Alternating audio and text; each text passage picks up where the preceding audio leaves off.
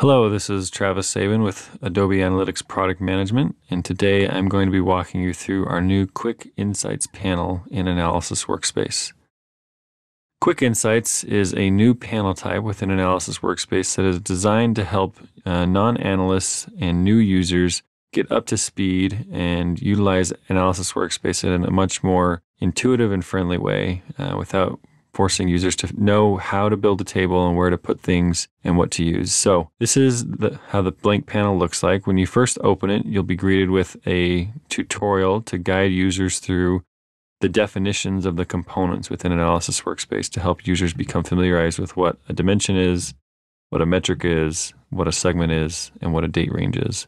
Once you've completed the tutorial, or if you skip the tutorial, then you're presented with this fill in the blank structure here at the top, which is tied to this table and this visualization. So in here, you have to have at least one dimension and one metric, hence the little asterisks here in the examples, in order for it to populate.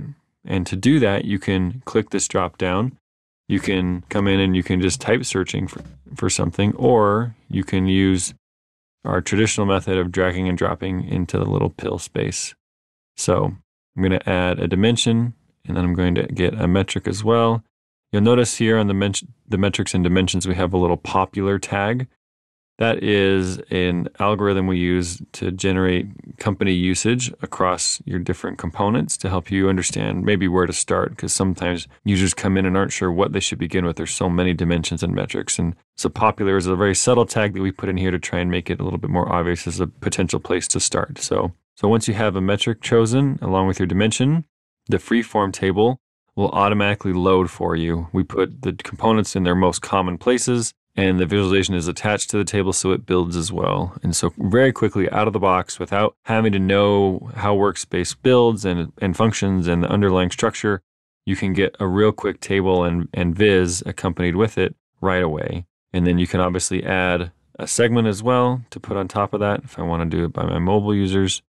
And then you can change the date range if you want. You can do a custom date range, or you can choose one of our presets, any of the above, or you can stick with our default of last 30 days.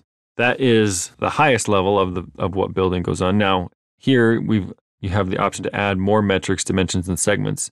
You can add up to three levels, or have three total levels, I should say. So you can have two additional dimensions to break down what you originally did. So if I want to break down my page by browser, and then my browsers by countries or regions, you can do that. And then very quickly, the table automatically updates. So now I have my top level page broken down by top level browser, broken down by my top level countries. And so really quickly, I've got this very detailed table without having to know where to put things, how to build it properly, really quickly out of the gate. You can add, like I said, multiple metrics. So if you wanted to compare visits and checkouts by pages, you can do that and they automatically get added side by side. Now, if I want to uh, remove any of these items, we have these little X's here on the outside of these pills. On the top level ones are on the inside. If you remove an item and there's an item below it, it will automatically bump that level, that item up. So in this case, countries will replace browsers if I get rid of the browsers and up level it. If I get rid of the top level one, it'll up level that one. And so things can just get moved up like that and replaced. You can also simply hit the clear button over here to start completely from scratch. So let's get back to our basic use case with a page and visits. And let's say I want to add multiple segments. So if I have my mobile users again, and let's say I want to compare them to my desktop users. So by default, we combine the two segments together. So now they're filtering um, one another as well as visits. So it's a stacked rank or stacked filtering. But if you want to compare these two side by side, you can click compare and it'll pop them next to each other and add visits under both. So now you can do a comparison of our mobile visits and my desktop visits and see how they're uh, doing against one another. And then obviously the visualization changes dynamically as well. So some really easy functionality to get and get segments in and putting them in the right places to fulfill those use cases of comparing them to one another or uh, using them as a larger filter uh, on top of one another. So uh, another thing, obviously down here, if, if, a bar chart isn't what you're looking for, we've up leveled the viz selector onto the actual header of the viz option here. So you can come and choose really quickly what other viz type you want to do. If you wanted to do line for some reason, or if you wanted to make it a donut, you can do that. and then you can go ahead and change it directly there. So that's just another thing we've done to try and make it a little bit easier for people to find what they're looking for and make changes quickly. Now, in the beginning, there was a tutorial for you to start with. If for some reason you clicked away or you wanted to do that tutorial again, we've embedded them here in this little help icon. So if you open this up, the first thing is just a little explanation of what this is with a link to the doc page.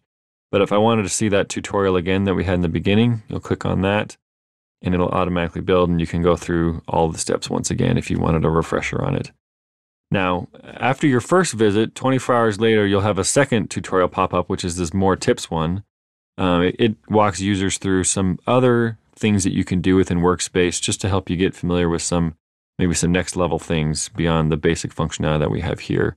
But if you want to pop that one as well, just like I did, you can click it directly there. This one will only progress if you have a dimension and a metric because it keys off some of these other pieces here to help you learn about breakdowns and so on and, and the tables themselves and some things you can do here. So this is another great uh, tooltip tutorial that we've put in here to help users learn a few other next steps and things you might want to do once you've kind of gotten started. So those tutorials are always here, always available to pop and load anytime you might need them. All right, um, let's do one other thing. So now it, all of this within Quick Insight, Quick Insights has been governed by this builder at the top. Now, many of our advanced users might get started for something quick and then they realize they want to go deeper beyond three levels or whatever it might be. Now, it fully supports dragging and dropping directly onto the table just like you normally would. However, by doing so, it will break the connection with the builder at the top. And so if you drag and drop anything on here, or if you remove something from the table directly without using the builder at the top, you'll get this warning telling you that you're going to get out of sync with the builder at the top. You're okay to do so, but we just want you to know what you're getting yourself into in case, again, this is for a newer user and they're doing something unintentionally. So you can continue, you can undo, and so on. If you continue, the builder at the top is grayed out. And so you can see that you can't manipulate it anymore, but you've been able to drag and drop what you want on here. You can go ahead and keep going, and the viz is still attached to the table, and you can do your normal in depth analysis within a freeform table that you might normally do. But at any point, if you want to get back to where you were before, you simply click on resync, and this will take you to your last sync state that you had saved here in the builder. It'll update the table accordingly. And so now you can come back to using the table at the top um, as your governing feature. So that's a little bit about how things can get out of sync or how you can get them back into sync. And then the last thing, because this is a new panel type, it is accessible here within the panel menu within the workspace. So you can just drag and drop that directly on here. Or if you're coming from the very, very first landing screen within Workspace, we've up-leveled Quick Insights to be alongside our other templates. So it's here really easy for newer users to find and to get started with this right away in case they don't know about the panel menu within Workspace. So you simply click on that and then you're off and running. So that is Quick Insights. Again, we hope that this provides as a good starting place for a lot of your newer users, for non-analysts, and even for power users. This can help you do some quick and dirty analysis without having to go through the trouble of having to build a table yourself. So hopefully this is helpful, and thank you for your time.